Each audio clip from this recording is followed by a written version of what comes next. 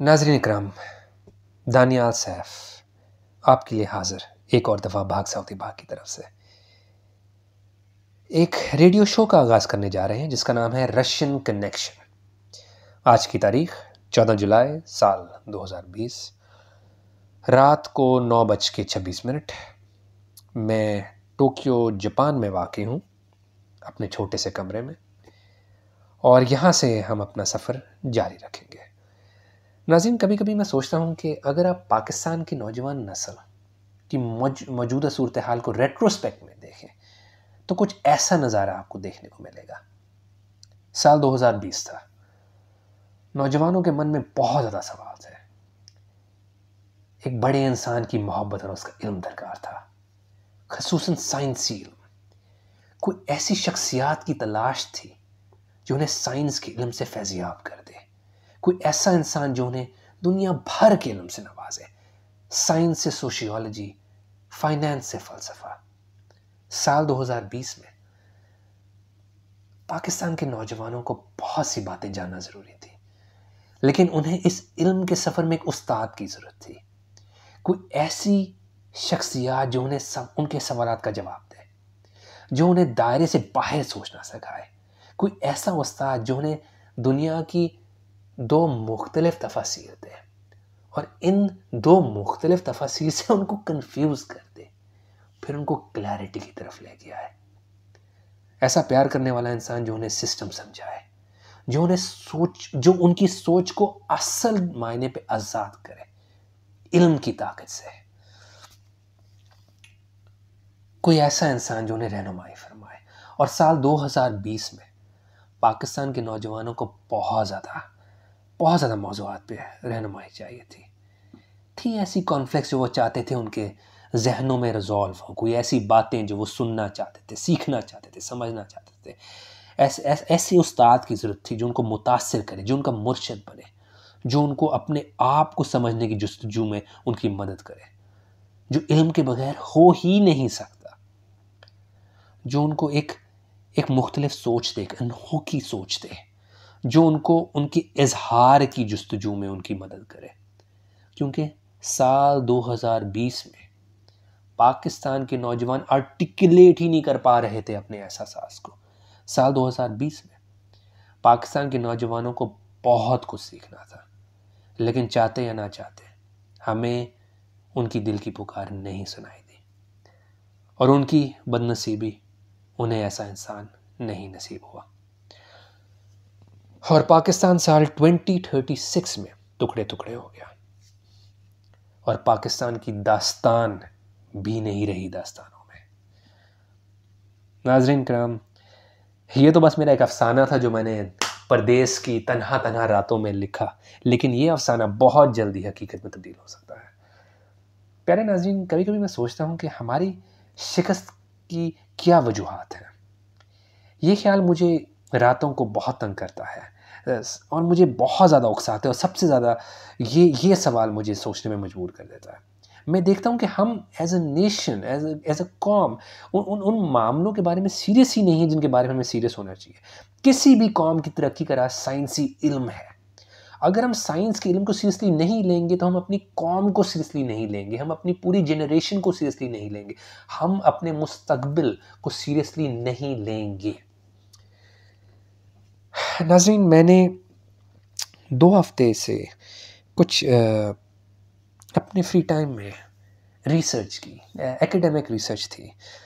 उसमें मैंने एक चीज़ की निशानगी की इस रिसर्च से कि कि पाकिस्तान की नौजवान नस्ल कैसे सीखती और समझती है। मैंने देखा कि पाकिस्तान की नौजवान नस्ल क्लासरूम की सेटिंग्स में नहीं सीखती। इसके बजाय वो एक गहरी बेतकल्लुफ़ गुफ्तगु में चीज़ें सीखते हैं, एक कहानी के तौर पे। आप उनको कोई भी चीज़ सिखा सकते हो, एक कहानी के तौर पे, एक एक गुफ्तगु में, एक एक एक एक तहरीकी तनाजुर में, एक हिस्टोरिकल कॉन्टेक्स्ट में। तो फिर ये चीज़ जब मैंने उसको निशानदगी की तो मेरे एक सवाल हुआ मेरे दिमाग में, क्यों, क्या हम, क्या सवाल ये था, क्या हम साइंस के राज, साइंस का पूरा इल्म उनको एक गुफ्तगु में सिखा सकते हैं? क्या हम पाकिस्तान का पूरा एजुकेशन सिस्टम तेरह क्लास तक रिप्लेस कर सकते हैं एक एक ए, ए, एक गुफ्तगु से गुफ्तगु की कलेक्शन से कॉन्वर्सेशंस की कलेक्शन से कलेक्शन से? ऐसी ऐसी गुफ्तगु जो एथन्स ग्रीस में हो रही थी प्लेटो की एकेडमी में एरिस्टोटल के लाइसियम में या इटली रोम में हो रही थी लिनो डिविंची के शाम की महफिलों में? एक ऐसी गुफ्तगु जो हमारे नौजवानों को टाइम टनल में ले जाए। जो उनको ऐसा महसूस करवाए वो नींद में ख्वाब देख रहे हैं। जो एक गुफ्तगु जो प्रॉपर तरीके से कोरियोग्राफ हुई हो। जिस जिस तरह स्टीफन स्पीलबर्ग वो यहूदी अपनी फ़िल्मों को कोरियोग्राफ करता है कि वो वो वो, वो आप ज़रा गो बैक एंड इमेजिन कि जब आप जब आप जुरासिक पार्क देख रहे थे सिनेमा में तो किस तरह आप उसके अंदर अब्जॉर्ब हो गए थे? वो कोरियोग्राफी थी, वो एक, वो क्या था?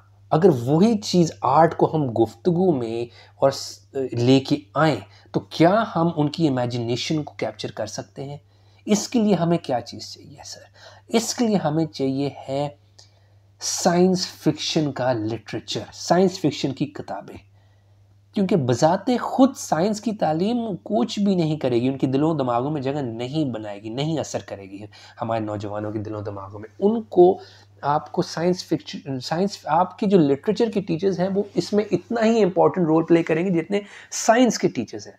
उनको, उनका ये काम है कि वो शेक्सपियर चार्ल्स डिकन्स या अकबाल वगैरह या फैज़ के, की के, की चीज़ें पढ़ाने के बजाय वो उनको साइंस फिक्शन की किताबों के खुलासे उनको बताएँ।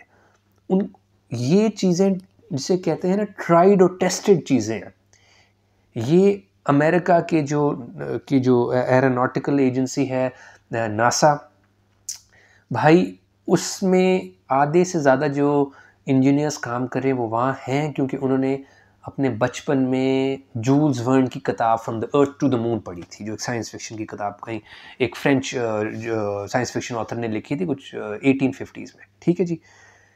ये मैं आपको साइंस फिक्शन लिटरेचर की पावर बता रहा हूँ। इस साइंस फिक्शन लिटरेचर से आप इनके दिमाग खोलें उनके खुलासे करें उनके खुलासे बताएँ उनको अजान की तरह पाँच वक्त दिन में उनको बताएँ उनके दिमाग खोलें उनको एक एक उनको एक sense of imagination sense of wonder दे एक पूरे साइंस के इल्म को एक आ, मुसीबत है बन गया है जो इनके इनके दिमागों में उसको एक मिस्टिकल डायमेंशन दे। उन उनको उस तरफ़ लेके आए।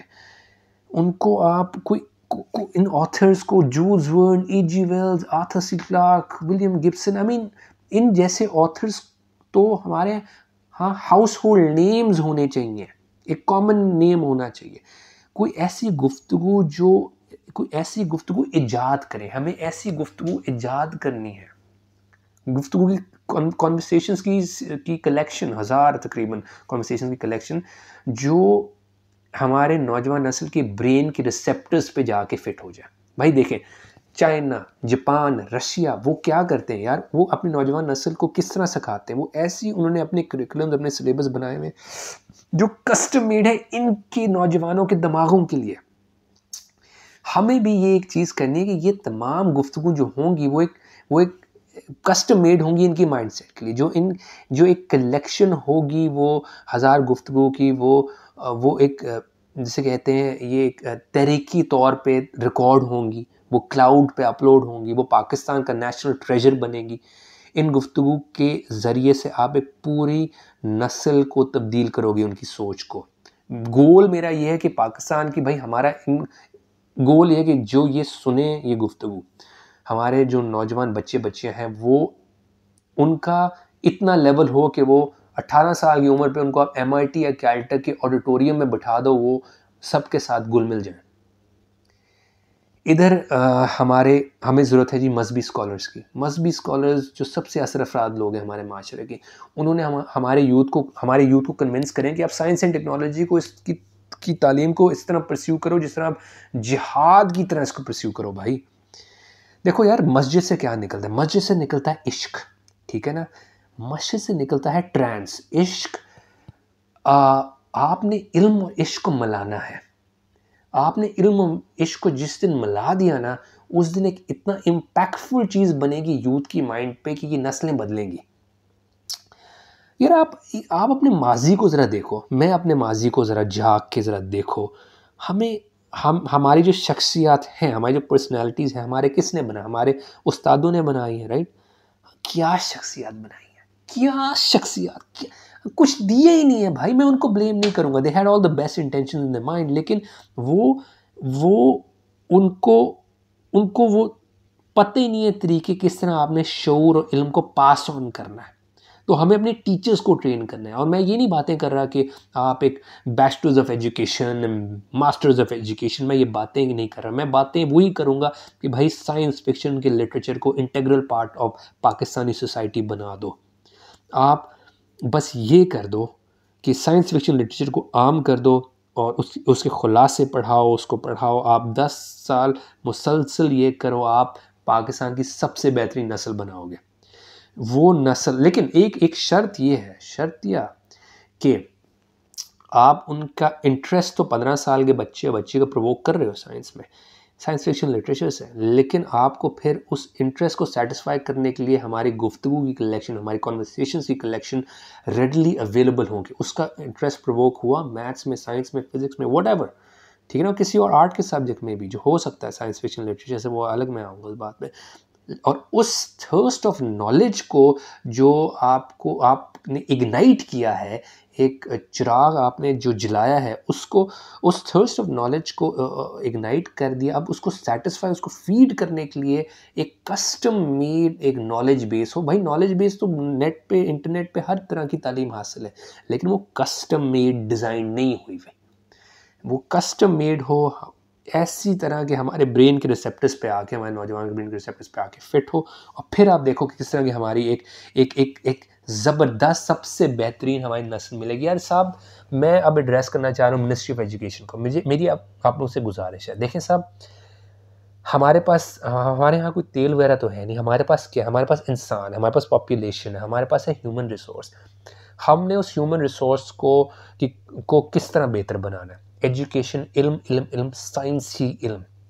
मैं आपको कह रहा हूँ, मैं आपको दे रहा हूँ एक वन स्टॉप सोल्यूशन ठीक है?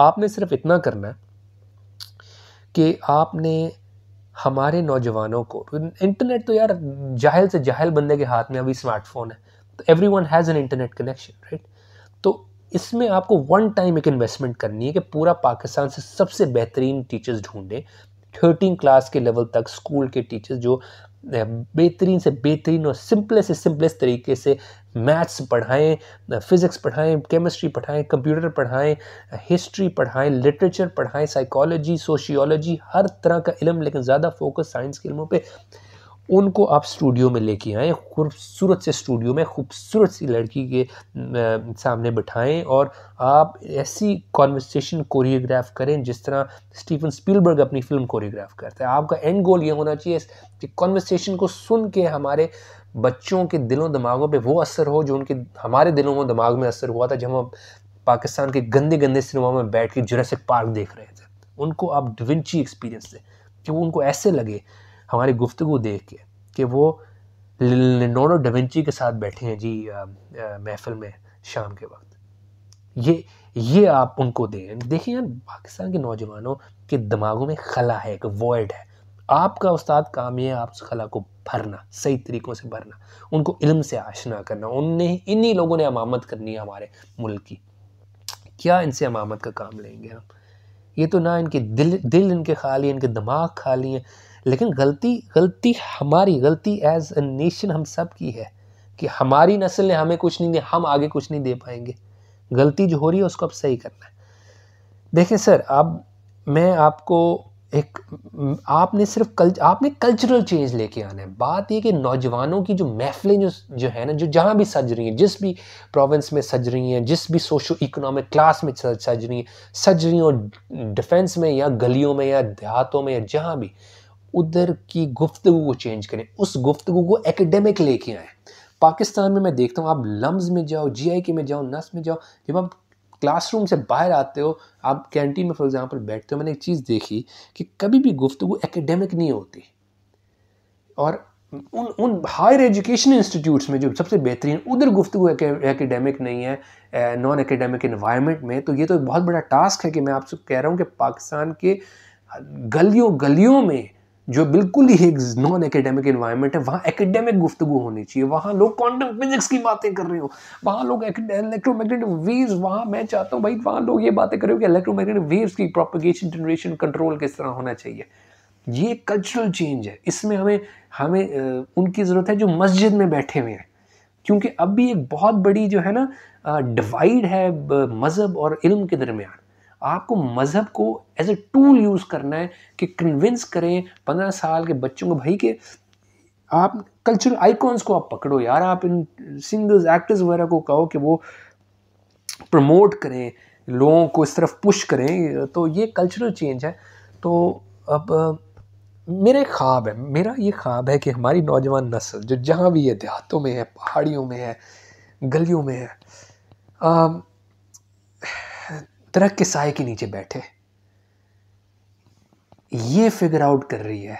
ये मेरा ख्वाब है कि एक दिन ऐसा है कि वो गलियों में या देहातों में बैठे हुए दरख्त के नीचे, साय के नीचे और ये फिगर आउट कर रहे हैं लैपटॉप के सामने लड़के और लड़कियाँ बैठे कि वुमन एम्पावरमेंट में वुमन एम्पावरमेंट भी होनी चाहिए कि पेंटागन का कंप्यूटर किस तरह हैक करना है। सर, ये होता है इल्म को आम करना। ये ये हकीकी इनकलाब है। यहूदी से नफरत करने के बजाय, यहूदी से नफरत करने के बजाय आप यहूदी बन जाओ। अपने खुदी को तब्दील करो। यू नो माशरा तो खुद ब खुद तब्दील हो जाए। जो ये खोखला कल्चर है, जो एम टी सा मेटीरियलिस्टिक कल्चर है, जिसके कोई भी पाँव नहीं है, वो खुद ब खुद नीचे आ जाए। आखिर में मैं बस यही कहना चाहूँगा कि ये बातें जो थी, ये तो सब एक अच्छी बातें थी। एक एक आइडिया था, एक फिफ्टी फुट व्यू है, उसको इम्प्लीमेंट हम तो सिर्फ़ बातें कर सकते हैं ना, हमारे पास तो फंड्स नहीं है। हम तो बस ये बातें मैंने कर दी अब ये अगर मिनिस्ट्री ऑफ़ एजुकेशन किसी किसी तरह वहाँ तक बात चली जाती है, शायद वो मुझे कांटेक्ट कर लेते हैं, शायद ये मामला आगे बढ़े, शायद ये बात आज शाम को हुई और रात गई, बात गई। देखें नाजरीन, मेरे प्यारे नाजरीन हाँ हम हम बर्बादी हम बर्बादी के किनारे पे खड़े हैं।